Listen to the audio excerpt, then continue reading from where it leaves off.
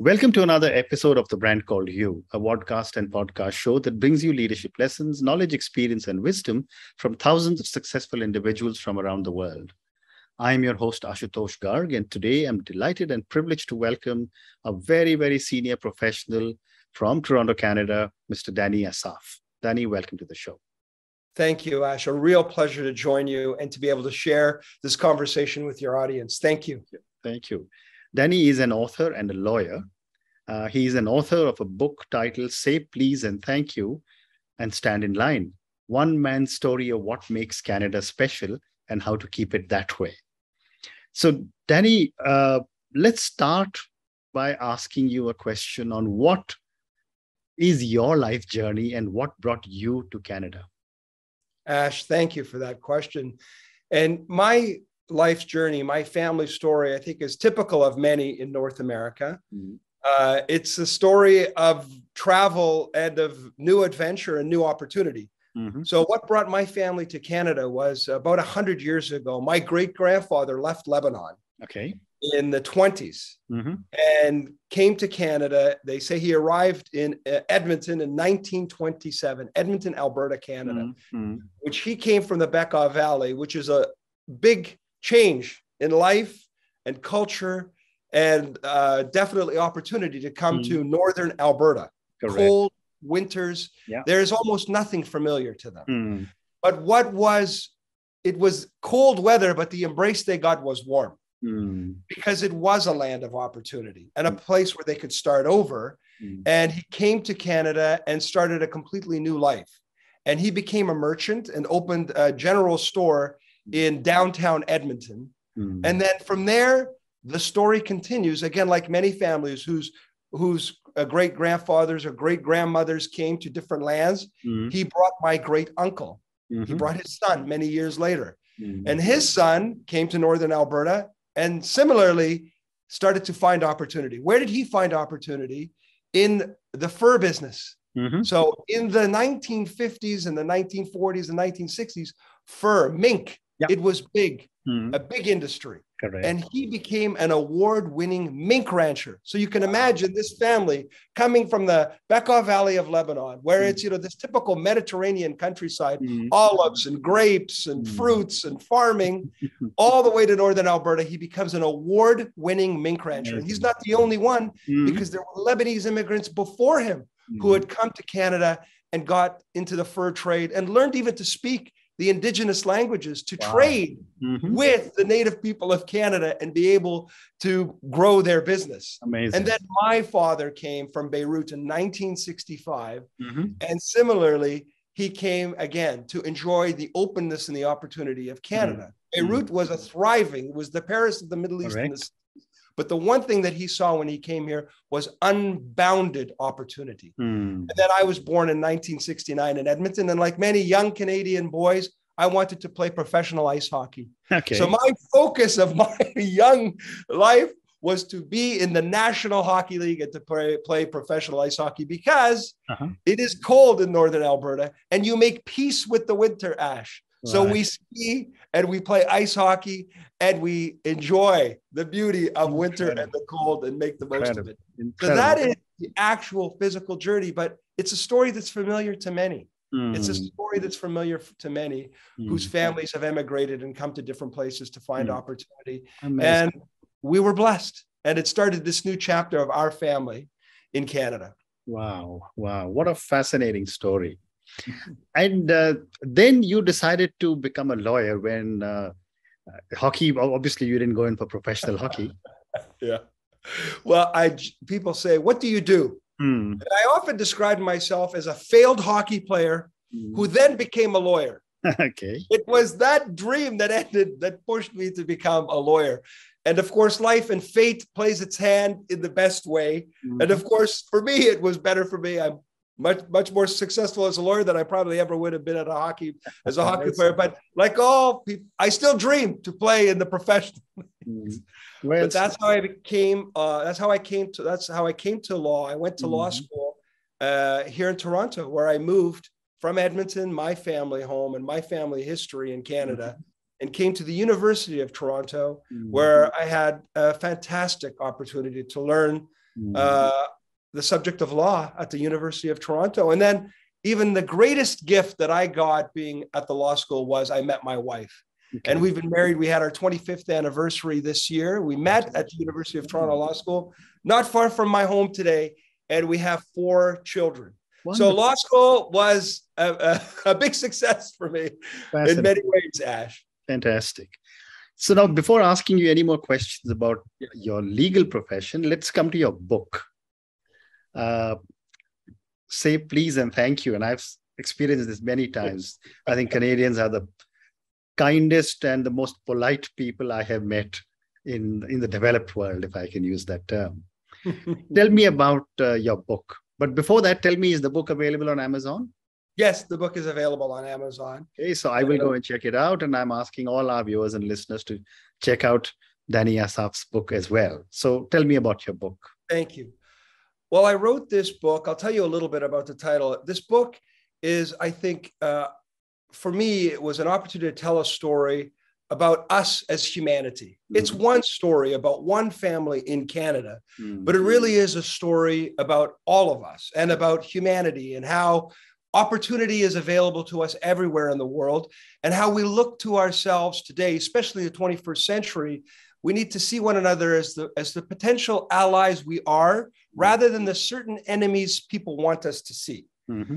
because the world has never been more connected as an objective fact people say the world is connected but it is true we've never had technology ever human no humans have had the technology you and i have today they've never had this to Absolutely. connect like we have. Mm-hmm. The travel is more intense than ever in the again in the history of humanity. We don't have to read the story of Marco Polo, or in the Arab world, Ibn Battuta, you know, the famous travelers mm-hmm. and explorers, exceptional yeah. stories. They went so far. Today, in two seconds, you can go mm-hmm. to the mm. east, to the west, wherever. And our fates have never been more intertwined Correct. economically. We don't know where our future will lie, especially if for not for us, for our kids. Do we know mm. where our kids are going to work? Yeah. Who is going to be their boss? Who is going to be their team member? It's we do not know. So we need to make a friend. Make a friend.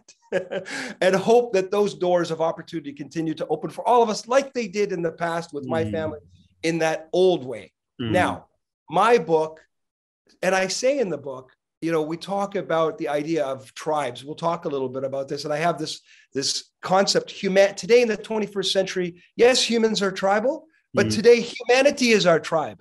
Hmm. Because tribalism was based on self interest and self preservation. To work with a group of people to thrive in your time. Well, mm. today, who is the tribe that will help you thrive and survive in your time? It's mm. broader. Yes, mm. humanity is our tribe because the challenges and the opportunities we face are global in nature, mm. like never in history. Mm. Mm. So, when we come back to why I wanted to write the book, it was really a story to tap into that because mm-hmm. what makes Canada special, I think, can make the future special for all of us. So, I start with this title Say Please and Thank You and Stand in Line. Mm. And you said Canadians are the most polite, and that's very kind of you to say.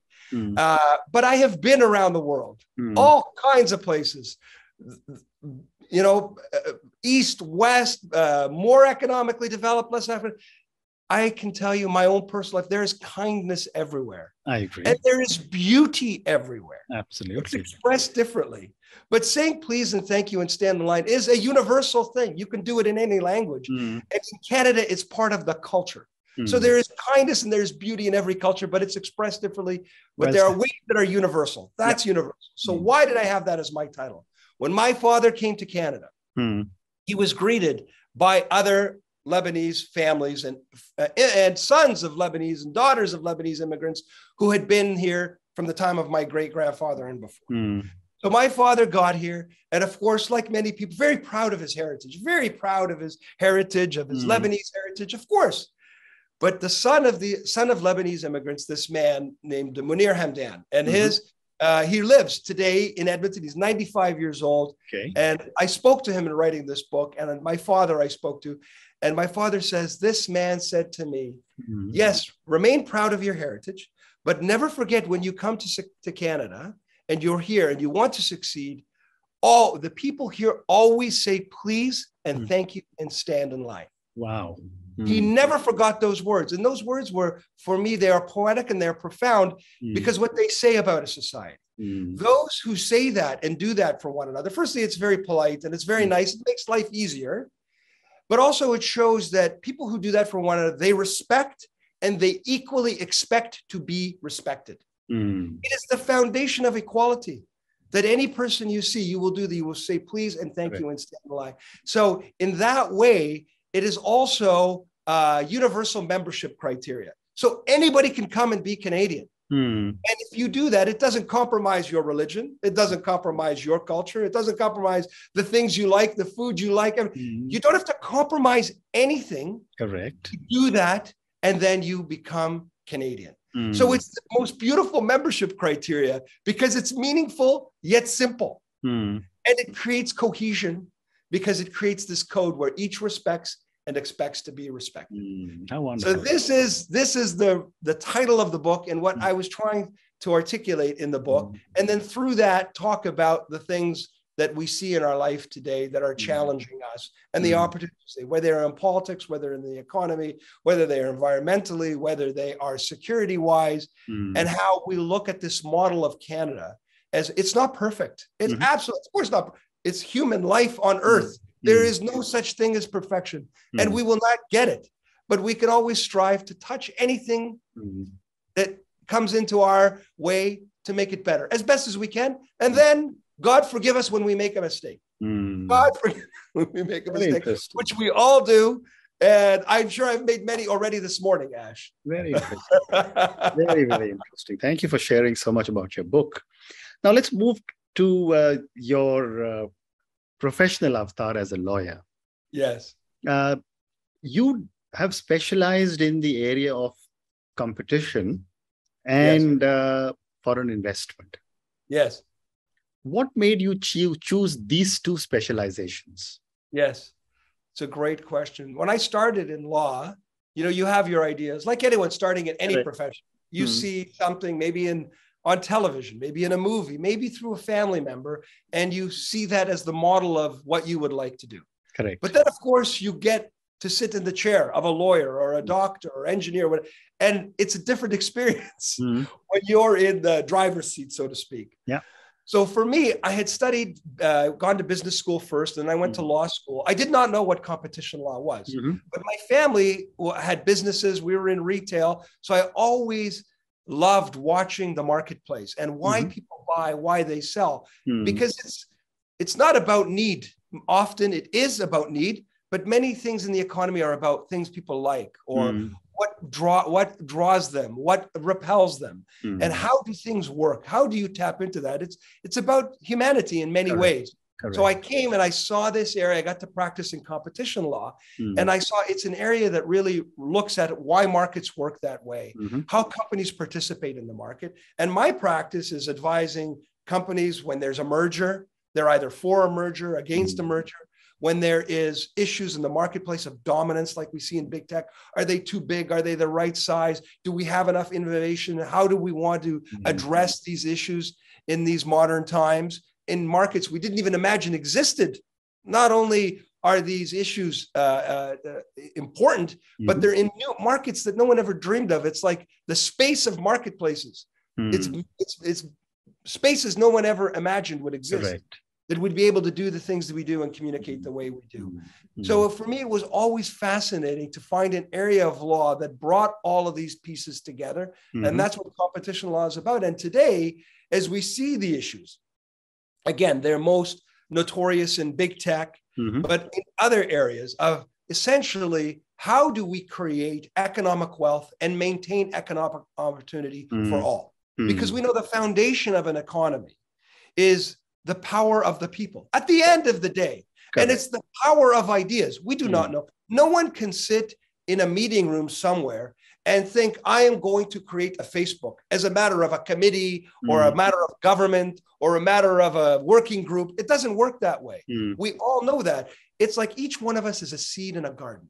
Mm. Each one of us is a seed in a garden. Mm. Life plants us mm. in the earth, and then we do not know what will sprout. We have no idea. One is a rose, one is a tulip, one is a tree, but they all have the potential for great beauty. They mm. all, each and every one of us, each and every child that's who's born, we do not know what they can flower into. We do mm. not know. Mm. And the beauty comes from places that are unanticipated. Correct. This is what fundamentally it's about. It's how do we enjoy that beauty when it grows mm-hmm. and watch mm-hmm. it grow. Sometimes maybe it can grow too big or its vines can stop the growth of other things. Mm-hmm. But fundamentally, we don't want to stop people from allowing them to make the most of their ideas and their mm-hmm. potential. So mm-hmm. we want to keep that ground fertile and always available to people. Fascinating. So it's a way of, of really tapping into that and always seeing how mm-hmm. that dynamic plays out. So it's fascinating. And then we could talk a little about foreign investment as so well. I'm coming to that. So, you know, just before we started recording, yes, we were talking about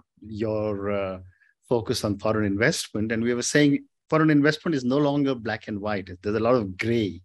There is. I'd love to get your perspective on what is driving foreign investment into Canada. So you have this uh, unique age today mm. where it's very hard to draw a very strict black and white line between who's our enemy and who's our ally, as I was talking about yeah. before.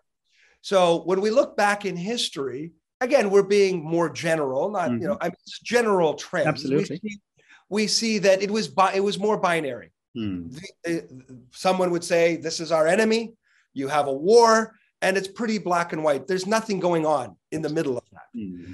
Today, the way the world is interconnected and the way we are, if we don't have to, even if we don't admit it, even if we don't hmm. want to, it doesn't matter. It's like gravity, it exists we are interconnected and if no matter what a headline tells you we know. Mm. we are in connect we are interconnected in different ways. Mm. so it's very hard to say you are my enemy in every sphere. You mm-hmm. are my ally in every sphere. It's harder to say that today. Mm. so today even if we have a conflict with somebody then after the conflict starts we realize we're connected in some way. Absolutely. So we, we have to create a path to make sure that again mutual survival can continue. Mm. So this is why it's interesting today when we see what's driving investment into Canada. We see, for example, resources, mm-hmm. natural resources, oil, gas, and you have these tensions between nations. You have tensions between policymakers, mm. climate change versus make sure that people don't freeze in the wintertime. How do you balance that?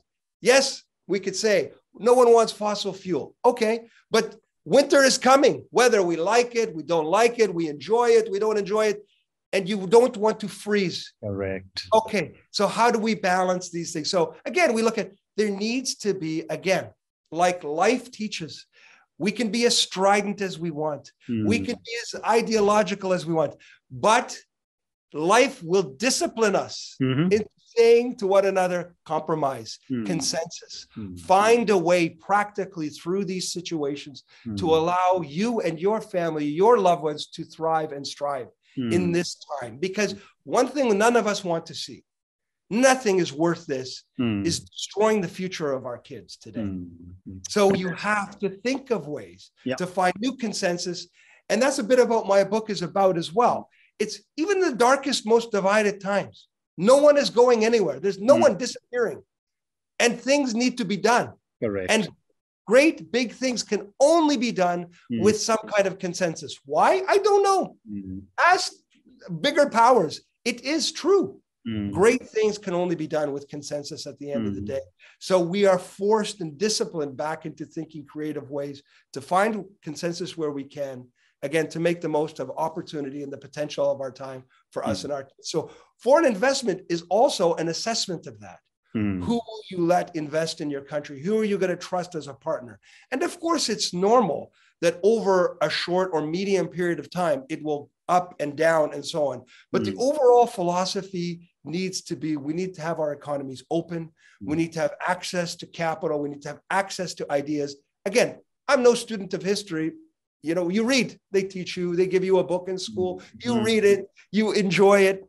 And I, my recollection of hmm. the greatest cities and the greatest places in the world in history was something like this. And forgive me for mm-hmm. the mistakes that I make in this description. Is mm-hmm. the greatest cities in history were always described as following: they were open to people, mm-hmm. they pursued beauty, hmm. they had they had a, a, priority on the greatest and the best ideas, hmm. and they people flocked there to create great societies and civilizations.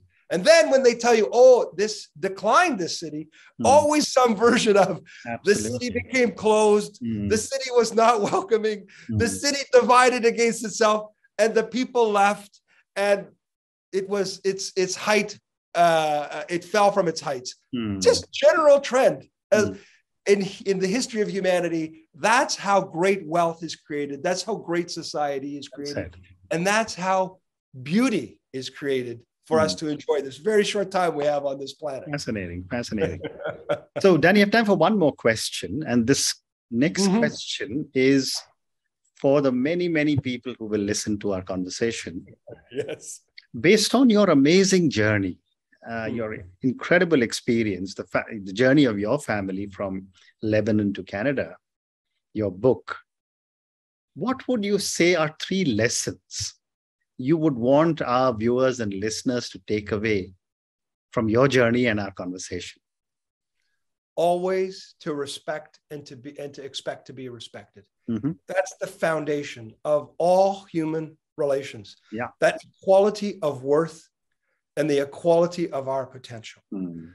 Number two, for all of us mm. to look across the world, across our communities, mm. and see where we can play to our strengths. Mm-hmm. Think of what you love, think of what you like, and think of your potential. Where is it most valuable? Mm. And seek that place out. Mm. Number number two. And number three, to always pursue the beautiful things. Mm-hmm. Always pursue the beautiful things. Mm. Whether they are in nature, whether they are in business, whether they are in relationships, mm. whether they are in a, a, meal, whether they are in, in any sphere of our lives, there mm. is beauty everywhere. Seek it, promote it, produce it, and bring more beauty to yourself and everything around you. Again, just to enjoy this very short time we have together on this planet. Mm. Those are the three lessons that I try to keep in mind what I can. Mm-hmm. And like I say, God forgive me when I fail at that, but I try every day. I try Absolutely. to pursue those things. Absolutely. Well said. Well said. Dany, on that note, uh, thank you so much for speaking to me.